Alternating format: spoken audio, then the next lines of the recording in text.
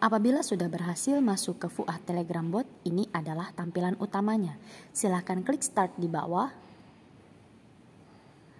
dan akan muncul tampilan seperti ini. Kemudian silahkan klik menu dan ada beberapa pilihan yang bisa kalian pilih sesuai dengan kebutuhan kalian, mulai dari skripsi, surat menyurat, pengumuman penting, dokumen penting, info beasiswa, BTAPPI, info KKN, survei kepuasan, dan hubungi admin.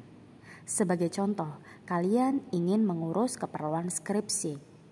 Bisa kalian langsung klik skripsi maka akan muncul beberapa alur pelayanan untuk mengurus keperluan skripsi, mulai dari pengajuan judul, ujian proposal, komprehensif, dan munakosya. Apabila kalian ingin mencari menu lain, bisa langsung klik main menu yang ada di tengah, dan di situ kalian bisa pilih menu lainnya.